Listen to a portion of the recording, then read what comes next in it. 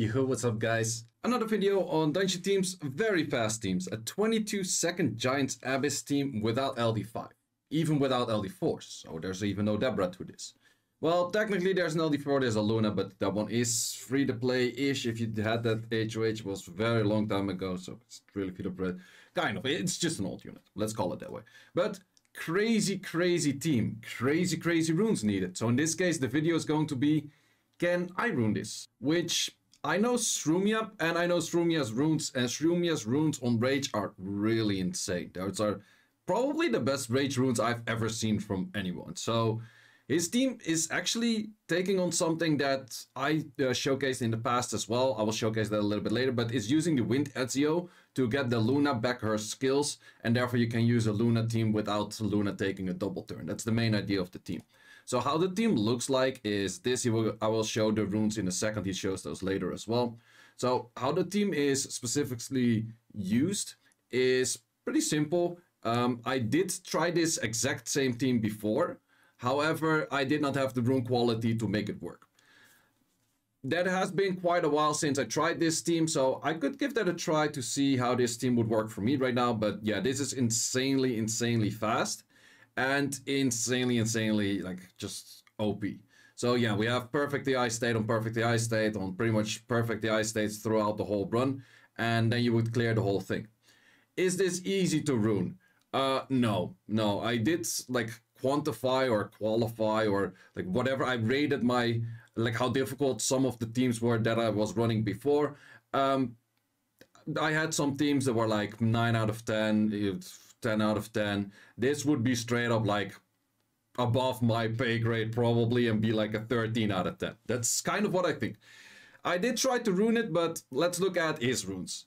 These are his runes. This is really insane. Like, not just the runes are good, the artifacts are good. If you look at the amount of, there's four rage sets that are all like 230 on 2.5, 244 on uh, 2200, and that one has five. This one triple fight, also good set. 291 on 2200. Okay, good set. A fight set here with close to 2k and then 255. Bro, that's insane. You you have to re-up some rage runes to get those kind of rage runes or farm a shit ton of necro. That's pretty much the only way to do it.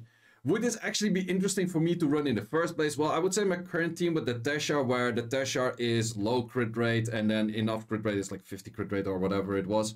And then all four other units on triple fight and you need the Deborah for that that team is running about like 24 second average. I've seen it 22 average, but it's more RNG depending than this team by a long shot. So we definitely do have that in there. He has the fastest team on 21 and a half second average. That is really, really insane.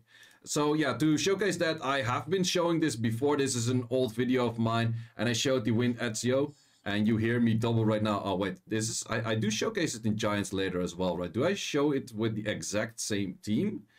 Uh, close, close. Not really. I don't think we had Aprilia at this moment, but I kind of did the same thing where I was using these units to get the amount of hits in, and then pretty much a very similar team. I don't think we even had the homunculus at this team uh, at this time because this video was posted in March of last year. So we do have a little bit of different videos in here, or we do have a little bit of different style of units in here right now. Uh, but is this going to be something that I can rune or well, to be honest, I didn't really farm too much rage runes ever since this moment. Like my rage runes did improve, my artifacts did improve, my grinds did improve, my fight runes definitely did improve, but my rage runes definitely do not improve. So here we have the team. I did have to rune it up slightly different because I think I have decent-ish fight runes, but I don't have that many crazy rage runes. So all of these sets, if we compare that to the Shroomia set, like all of these units are just straight up better on Shroomia. Like I'm missing like two, 20 crit damage on this. I'm missing probably a bunch of attack on this. So for that reason, I actually need more triple fight. So my homunculus is triple fight. My Ezio is also triple fight. My triple fight builds are a lot weaker than his rage sets, but because all of the three of them have triple fight, it actually does kind of add up, I hope. I don't know. So a thing that he also did is make this 35 accuracy because the minimum accuracy that you need in Giants is of course 35. But this skill can actually armor break as well. So if you put that towards 35 accuracy, it is a way that you can actually do it. This artifact is pretty nice for it. My artifacts are decent for this, but I would say that his artifacts are better for this, especially on the Luna. That are uh, the artifacts he has on the Luna seem pretty freaking strong. So I'm gonna play this on a manual and I'm just gonna click perfect eye, but this gives us a chance to see like what kind of damage we're doing and how much are we missing or not missing. So in this case, okay, we're on the edge of actually doing enough damage. That is not too bad, I would say. Not too bad. So if we go for, let's say, all of the perfect skills, we would get a rotation like this. I can't kill in one hit. So my Luna's also too weak for this. Doesn't happen too often that I can't ruin shit. But yeah, this is definitely a team that I can't ruin, it seems. So yeah, we're missing all three on those. So I can remove the artifact that I get extra accuracy on and just put extra damage on him. That is an option. So, but let's see about this one. So normally, if it would do this skill, this is like the highest damage output I have. This would have been, uh, this is not exactly perfect eye rage. It did do the skill right now, but it doesn't even do enough damage because mine is not on rage. And then if the Luna does die over there, which is most likely, it's not gonna be a great day. So yeah, can I run this? Mm, answer, not really. Let's see if we change the, um, what's it called, Ezio to a crit damage less, because with a crit damage less, it's definitely doable with this. We just need a little bit more crit damage less. Do we have one that is still having accuracy S2? Not really. Okay, let's just for the sake of it remove the crit damage S2 and we're just gonna go for a lot of crit damage over here. But the issue is still that this unit is doing too little damage by quite a bunch.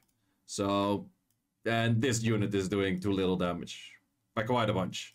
So these are definitely issue scenarios where I would say I'm probably not going to be able to ruin this. So let's see what this, yep, that does actually kill right now. So we have not that much chance for you armor breaking right now, but if it does, it is nice.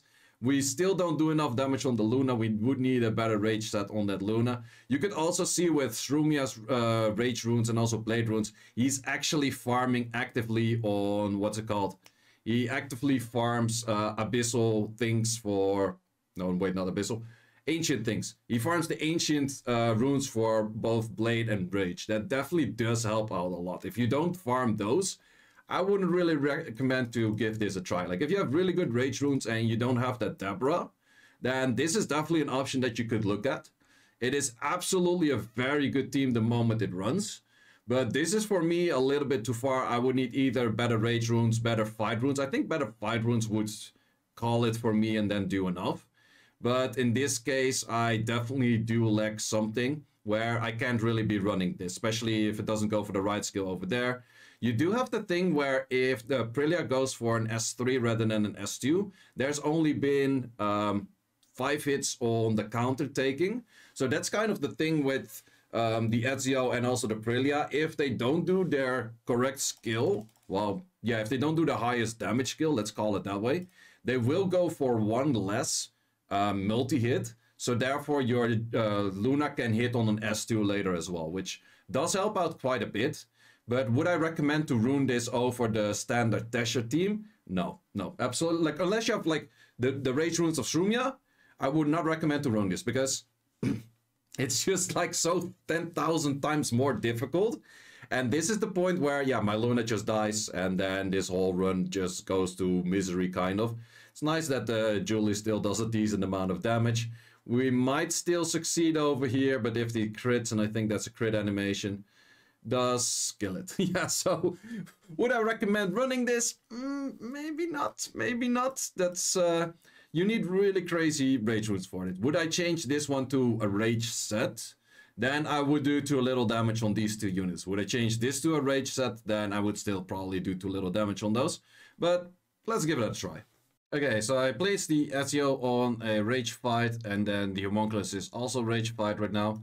Let's see how this works out. I would doubt that my Julie does enough damage right now together with this. Nope, not enough damage. I did switch back the artifact towards the artifact which uh, was the high accuracy artifact. So let's change that in a second and then see how that goes. So let's see if we... Well, this run is completely messed up already. this thing still doesn't do enough damage. Uh, let's see how that would go at the final boss. Oh yeah, you do a lot less damage if that happens. That is totally true. Um, let's just clear it like this, just for the idea of it. How much damage would I do on the final boss if they do all of their skills right? So this is the right skill. This is the right skill. Yeah, we're still lacking a lot of damage too. Okay, we could actually one-shot it that way, so the homunculus uh, damage added it definitely does help out. But it makes the Julie damage a lot less, it makes the Luna damage quite a bit less. So let's give that one more try, but then with the other artifact with the crit damage low once again. So that's the higher damage artifact. Let's give that one more try. Let's see if this now gives something that we could write home about. Nope, I can't even kill. so I need the fight runes, otherwise my uh, Julie's just straight up doesn't do enough damage. So yeah, would I recommend the build is? Uh, no. Well, yeah, if you have better rage runes than I do, which absolutely possible because in the end, it's very true. I don't farm rage, but uh, that's some really insane runes. That's the least I can say about that. That's some really, really insane runes. Whereas the team of the Teshar is very easy to rune, like super actual easy to rune. So I recommend to stay with the Teshar guy. So uh, definitely an amazing team. Definitely shout out to Shroomia. I'll leave his stuff in the description down below. Absolutely amazing team. Absolutely amazing that he can make work. But for me, this is definitely still a bridge to farm. Maybe if we get more of those events where I can farm a lot of those fight runes, then maybe I can get there at some point. I did get like one or two decent fight rune uh, upgrades for the three hours of farming fight runes. If I get that event probably like 10 more times and then also fix all of the correct grinds on it, then I can probably make it. Probably if I also get some better artifacts, because in the end I have to work with just the Luna that's worse because I have worse rage runes on those. Some better blade runes might help, I don't know.